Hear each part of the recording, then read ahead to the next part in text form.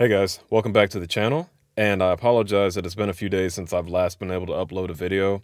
I've been pretty busy just taking care of things going on in my life. So again, I apologize for that. And I thank you all for your patience. And I also thank you all for your support on my last community post. Um, I won't go into details about it here, but I am grateful for all the love and support that you guys are showing me. So again, thank you so much for all that. So for this episode of Machinedrum Mondays, which is going to be episode 15, we're going to be checking out Tomas Haake. His name has come up quite a bit and has been on my list of drummers to check out for a while now. So that's why I'm finally getting around to checking him out. Although I am familiar with Meshuggah, they've been around for so long, uh, since 1985. I really had no idea where to start as far as which song to pick. So what we're going to do is something a little different. We're going to check out our friends over at Loudwire. They did a video called 10 Times Tomas Haake Was the Best Drummer on Earth. So I believe if they did this video justice, they're going to have a pretty decent compilation of some great performances by Tomas. And that's what we're going to check out today. And if there's something that you guys want me to more laser focus on, I know everybody checks out Bleed. That's been like kind of almost their flagship song as far as um, old fans and brand new fans from Meshuggah, but I wanted to do something different than Bleed. So if there's something other than that you guys want me to check out, let me know. So without further ado, let's go ahead and check out this video. Oh, uh, and the disclaimer that I normally give, the link to the original video will be down in the description if you do not want to hear me talk or don't want to deal with any pauses. Okay, that is all.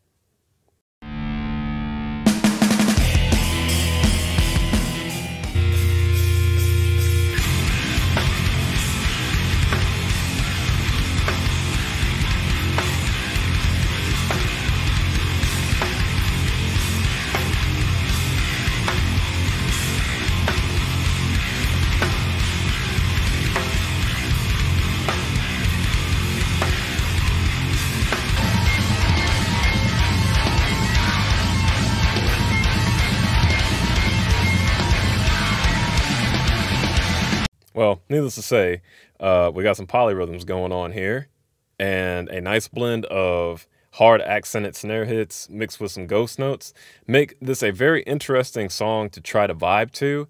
But for some reason, even despite all the polyrhythms, you can still concentrate on where the downbeat is in order to in order to do all that.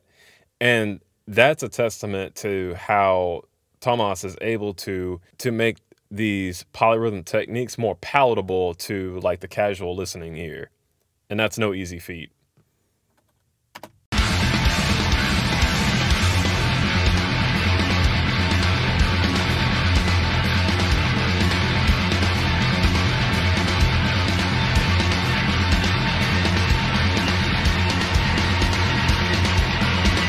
That may have just seemed like a simple snare roll, but there was more to it than that. First of all, he was keeping the odd time signature going with the hi hat.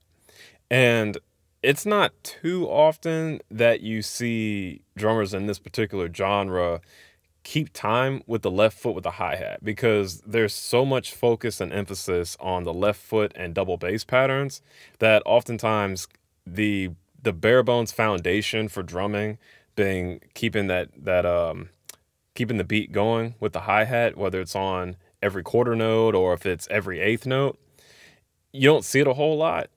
But here despite the odd time signature he was still able to keep the hi-hat going. So not only is his ability to smooth and blend the polyrhythms into the rest of the guitar parts and the chords done in a superb way but his limb independence is also exceptionally top notch.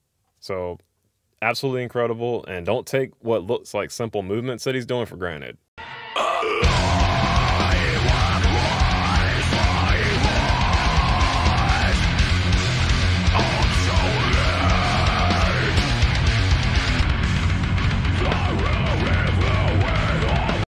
I guess I should have known this was going to be on the list.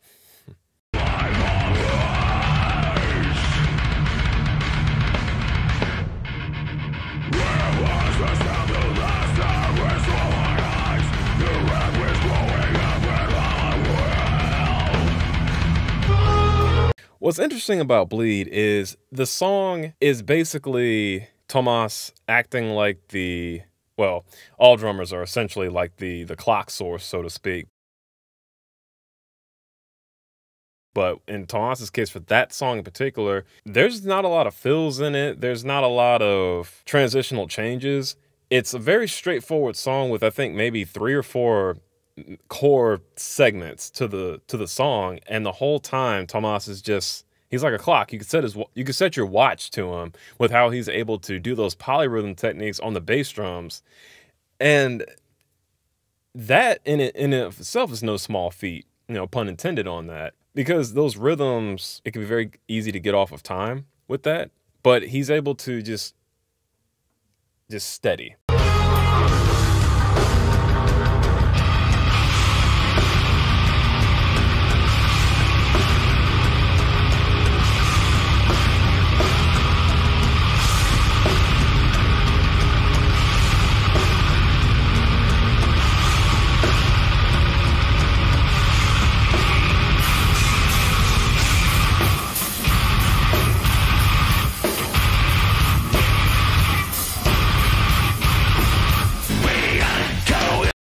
I need to hear the whole song. I got to hear that one. I love how they're able to do that kind of build up and in a live setting like that. That anticipation level must have been crazy. Good stuff.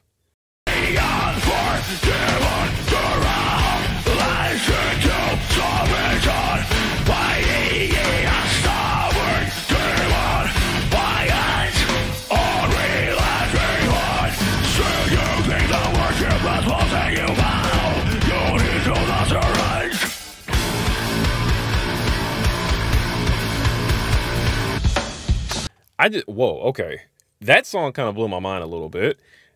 Um, a lot of polyrhythm techniques going on in the drumming, but also lyrically, the vocals were hitting blow for blow with the same kind of upbeat, back on the downbeat, up, upbeat here, upbeat there, back on the downbeat. Like that's really cool because the vocalist knows well, I mean, they've been a band for a long time, so they're very in tune with each other's style musically. But even in a live setting, the vocalist was right there on it. He's like, nope, Tomas, you're going to do this. All right, I got you with this. Boom, boom, boom, boom. Very in sync with each other. That comes from years of practice and a whole ton of chemistry.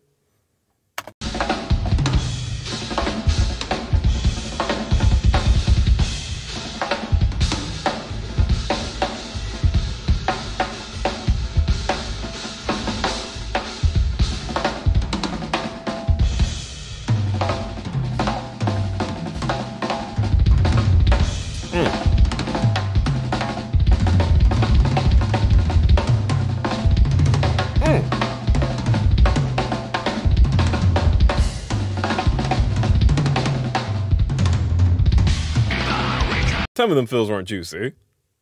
Mm.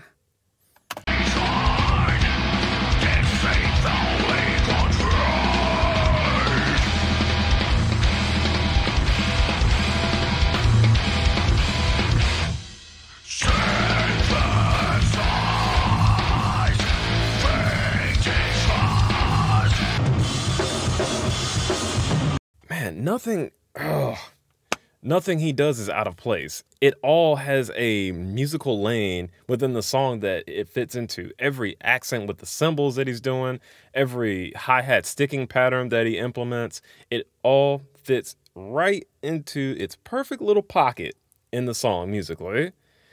Man, and the guitars and the chords and the riffs are right there along with them too. Man, just the kind of. okay, this. Mm. This is just astounding. That's just the only word I can think of for it.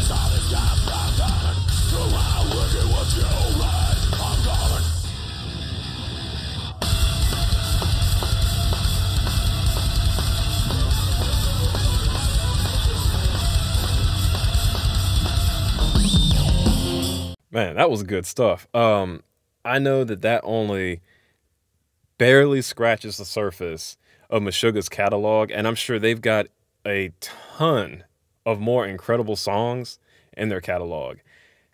I wow, I'm gonna need you guys' help uh, to help kind of guide me on the Tomas Haake journey. Help me navigate through this extensive and amazing musical catalog that they got. I'm gonna need help.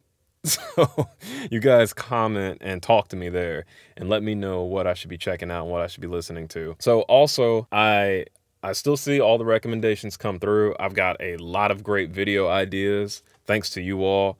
Uh, some stuff has come through recently that's really landed itself on my radar.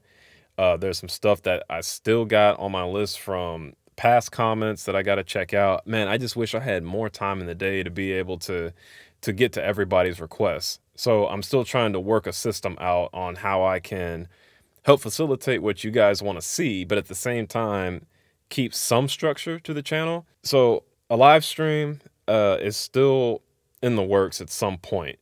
Um, I'm working out getting a decent like webcam for that. That way I can try to make it a good, high quality experience because I do want to talk to you all, like actually have conversation and real dialogue. Uh, because I'm curious to know what you guys think. What you guys think of the channel, what you guys think of the content, maybe some ideas for direction on where to go.